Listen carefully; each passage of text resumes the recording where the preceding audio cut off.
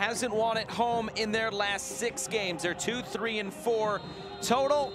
As we get this one underway, Miami FC and LA Galaxy 2 for the first time ever. Will be a set piece opportunity here coming for Los Dos. Josh Drack standing around this dangerous left foot. It might favor his left foot here. He looks to be the only one around this. Drack strides up and Drack scores! Top shelf! LA Galaxy two strike first.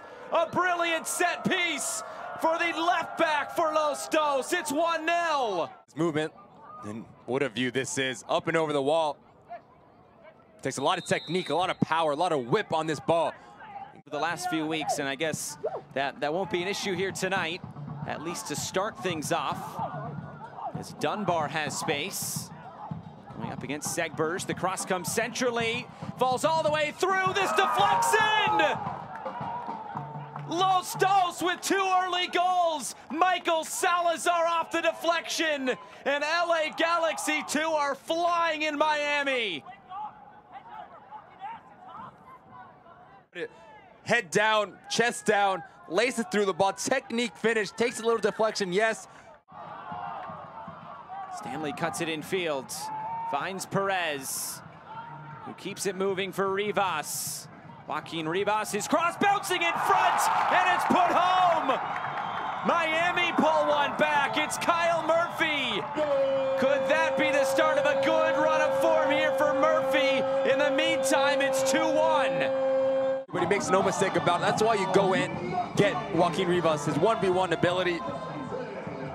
Create something at it. Looking for Cam Dunbar to come underneath and play that supporting player that we've seen time and time again through the electric winger Remi Cabral as, as well come involved in the attack. Here's Judd. Preston, Judd scores! He did it all himself, like a hot knife through butter. To be so clinical in the 18-yard box, you can see there's three players in blue. And that's the final whistle. Your final score. LA Galaxy 2 come all the way to Miami in the Sunshine State and take the full three points off of Miami FC. Have a game plan and perfect it. Terrific win for the boys in white. For Anthony Pulis, a bit of frustration. You had good opportunities, just need to clean that thing up in the final third, make those things count.